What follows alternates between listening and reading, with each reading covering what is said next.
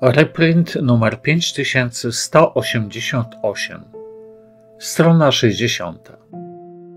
Starożytni święci. List do Żydów, rozdział 11, wersety od 1 do 19. W Tobie nadzieję mieli ojcowie nasi, nadzieję mieli i wybawiłeś ich. Psalm 22, werset 5. W niniejszej lekcji święty Paweł wystawia żywe przykłady cudów wypracowanych przez wiarę w dawnych czasach. Wylicza niektórych bohaterów wiary i przytacza ich zwycięstwa. Główną podstawę do tej rozprawy znajdujemy w pierwszym wierszu naszej lekcji. Wiara jest gruntem tych rzeczy, których się spodziewamy i dowodem rzeczy niewidzialnych. Jak woda nie jest materiałem dosyć twardym, abyśmy mogli po niej chodzić, chyba że jest przekształcona w formę lodu, tak wierzenie lub spodziewanie się czegoś w zwykłym znaczeniu tego słowa nie jest dostateczną podstawą do naszych nadziei i duchowego wzrostu. Jeżeli te wierzenia nie zostaną ściśnione i utrwalone w niezłomną wiarę. W taki sposób powinniśmy zawsze rozróżniać między łatwowiernością a wiarą. Łatwowierność zasługuje na naganę, gdy zaś wiara jest godna uznania. Skrystalizowana wiara, mogąca przeprowadzić nas bezpiecznie przez zwodnicze bagna nieświadomości i przysądów i doprowadzić do celu, jaki Bóg nam wyznaczył, potrzebuje coś więcej aniżeli zapewnienie ludzkie więcej aniżeli tylko wyobrażenia własne lub innych ludzi. Prawdziwa wiara szuka wyraźnego poselstwa od Boga i wymaga pilnych zabiegów, aby poselstwo to znaleźć i dobrze je zrozumieć. Dopiero wtedy wiara staje się poświadczeniem lub dowodem rzeczy niewidzialnych. Mając taką wiarę co do boskiej obietnicy, że ziemia hananejska będzie dana Izraelitom, z wysłanych do tej ziemi szpiegów dwóch przyniosło raport dobry. Ich towarzysze, nie mając podobnej wiary, patrzyli jedynie na potęgę Hananejczyków i zdali raport niekorzystny. Wiarą uznajemy boską potęgę, która stworzyła planety, która nakreśliła wieki i dyspensację ludzkich spraw i która z tego wszystkiego wyprowadzi chwalebne wyniki, na razie niedostrzegalne inaczej, jak tylko okiem wiary. Abel, Enoch i Noe.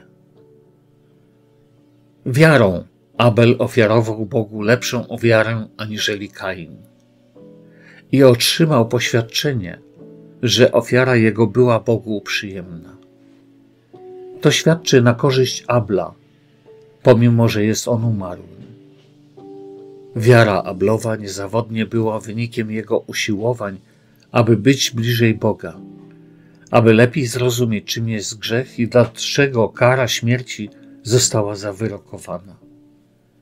Z takiego punktu zapatrywania wiary on był pobudzony do złożenia ofiary ze zwierząt ofiarnych, która figuralnie przedstawiała lepszą ofiarę która w swoim czasie dokona ostatecznego pojednania pomiędzy Bogiem a ludzkością. Z powodu swej wiary Enoch był przeniesiony, aby nie oglądał śmierci. Chodził Enoch z Bogiem i wziął go Bóg. Opowieść o przeniesieniu Enocha jest poświadczona więcej aniżeli raz więc wiarą możemy ją przyjąć. Nie jest wspomniane, gdzie został przeniesiony, za wyjątkiem tego, że nie do nieba. Ktoś mógłby wnosić, że w jakiś sposób Bóg mógłby ochronić jego życie przez te wszystkie wieki, by pokazać, jak ludzkie życie mogłoby być podtrzymywane boską mocą, gdyby nasz rodzaj nie znalazł się pod przekleństwem śmierci. Enoch jednak nie mógł być wyjętym spod tego potępienia. On był pod boskim wyrokiem śmierci, a do doskonałości i usprawiedliwienia do żywota mógłby dojść tylko przez zasługę odkupiciela na równi z innymi. Wiara Noego zamanifestowała się w jego posłuszeństwie Bogu. Kiedy to na jego polecenie budował korab, w czasie kiedy nie było najmniejszego powodu do budowania czegoś podobnego. Ponieważ od stworzenia człowieka aż do onego czasu nie spadła ani kropla deszczu.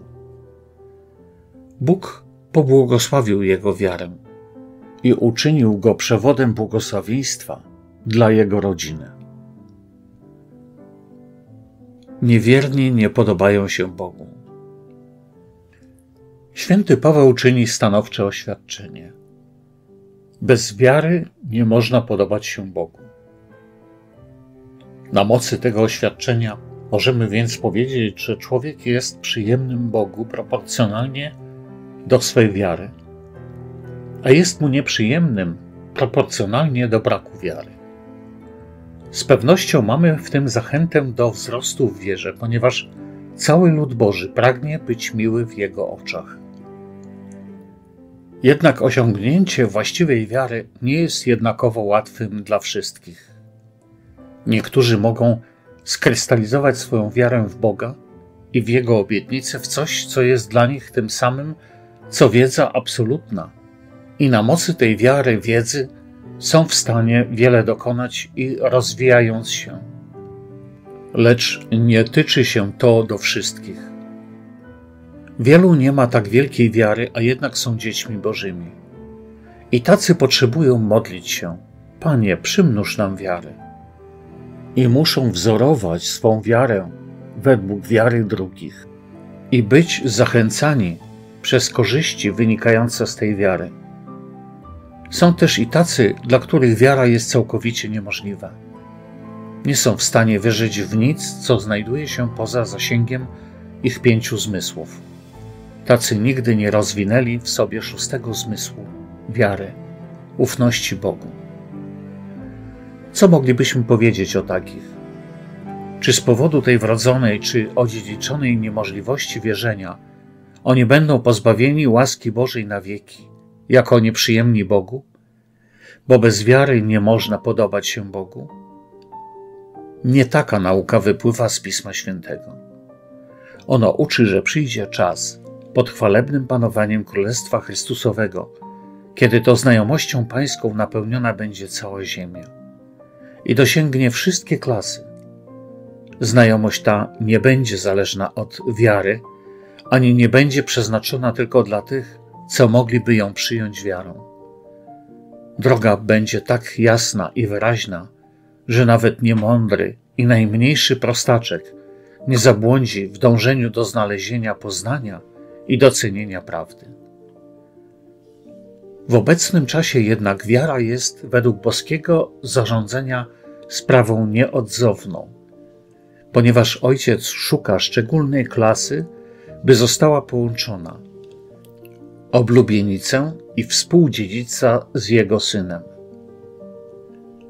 Ponieważ ci dostąpić mają wielkiego, zaszczytnego i bardzo odpowiedzialnego stanowiska na dokonanie wielkiego dzieła, muszą być doświadczani i wyprobowani pod każdym względem. Ich wiara we wszechmocnego musi być nieugięta. Podobnie Bóg przygotował pewne specjalne dzieło dla starożytnych godnych, wspomnianych w niniejszej lekcji, a za godnych do wykonania tego dzieła On uzna tych, którzy okazali wielką wiarę w Niego i w Jego Słowo. Abraham upatrywał miasta. Przechodząc do Abrahama, święty Paweł opisuje poszczególne etapy jego demonstracji wiary. Abraham odpowiedział na wezwanie i wyruszył do ziemi Hanaan, nie znając wcześniej żadnych szczegółów. Wiarą przebywał w ziemi obiecanej jako obcy, mieszkając w namiotach, tak jak Izaak i Jakub, stowarzyszeni w obietnicy i będący jej dziedzicami. Sara także dała dowody swej wiary. Apostoł oświadcza, że tym sposobem otrzymała odpowiednie wsparcie stając się matką Izaaka. Dodatkowo została utożsamiona z tą obietnicą, która oświadcza, że przez nią nasienie Abrahamowe miało stać się tak liczne, jako piasek na brzegu morskim, czyli niezliczone. Podsumowując, święty Paweł oświadcza, że te wszystkie szlachetne postacie umarły w wierze, nie otrzymawszy tego, co im było obiecane.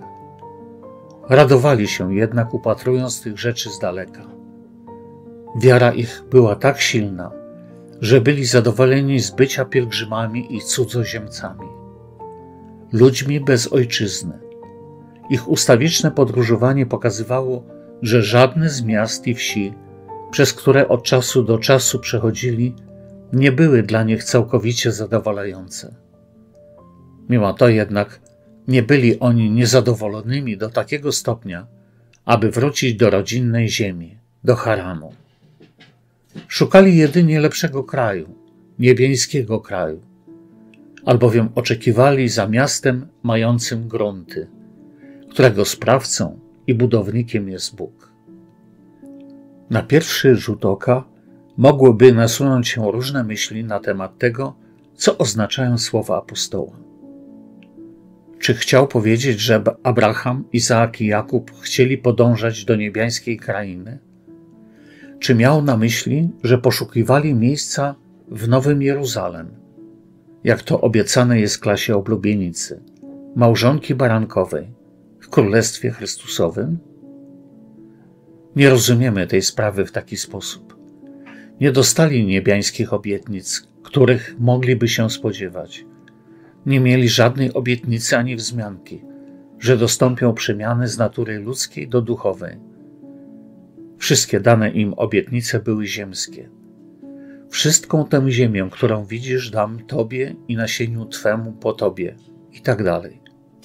Według naszego zrozumienia, tą krainą, której szukali, był raj, którym w niedalekiej przyszłości stanie się cała ziemia. Gdy zakwitnie pustynia i miejsce leśne, rozraduje się i zakwitnie jako róża gdy potoki wynikną na pustyniach, a błogosławieństwo Boże wyprze przekleństwo grzechu i śmierci. Taką będzie ziemia, która według boskiego zamierzenia stanie się dziedzictwem całej ludzkości. Gdy pod panowaniem Chrystusa doprowadzona zostanie do doskonałości, a wszyscy ludzie do harmonii z Bogiem i Jego prawami. Gdy czytamy, że Abraham oczekiwał miasta mającego grunty, którego sprawcą i budowniczym jest Bóg, naturalnie pierwszym, co przychodzi nam na myśl, jest Nowe Jeruzalem, miasto Boże, które ostatecznie przyjdzie od Boga na ziemię. Nie będzie to jednak miasto literalne. Całe to określenie jest symboliczne. Nowym Jeruzalem będzie Królestwo Chrystusowe będzie ono stolicą, czyli ośrodkiem rządu dla zreorganizowanego porządku społecznego na Ziemi. Z tej stolicy wyjdzie zakon, prawo Boże, znajomość Boga i boskie błogosławieństwo. Stamtąd spływać będzie potęga i autorytet, które przez tysiąc lat rządzić będą światem sprawiedliwości, burząc grzech, śmierć i wszystkich sympatyków grzechu, a podnosząc wszystkich miłośników sprawiedliwości i prawdy. Nowym Jeruzalem przede wszystkim będzie Kościół w chwale na poziomie duchowym, królestwo boskich rządów, wywodzących się od Mesjasza. Lecz królestwo to będzie również miało swoich ziemskich przedstawicieli. Ci właśnie, o których święty Paweł pisał – Abraham, Izaak, Jakub, prorocy i wszyscy wierni Starego Testamentu będą książętami na ziemi, przedstawicielami niewidzialnego Mesjasza i jego oblubienicy, i mający moc i autorytet. O tych Jezus powiedział: Ujrzycie Abrahama, Izaaka, Jakuba i wszystkich świętych proroków w królestwie. O sobie zaś powiedział: Maluczko, a świat mnie więcej nie ogląda. O Kościele apostoł też oświadczył: Podobni mu będziemy. Wszyscy członkowie Kościoła muszą być przemienieni, bo ciało i krew nie mogą odziedziczyć Królestwa Niebieskiego na duchowym poziomie. W istocie więc Abraham, Izaak i Jakub i wszyscy starożytni wierni oczekiwali obiecanego wskrzeszenia od śmierci, osiągnięte pod administracją mesjańskiego rządu, którego rząd przedstawiony jest symbolicznie przez miasto. Tak jak Petersburg reprezentuje Rosję, Paryż Francję, Londyn Wielką Brytanię, Berlin Niemcy, a Waszyngton Stany Zjednoczone.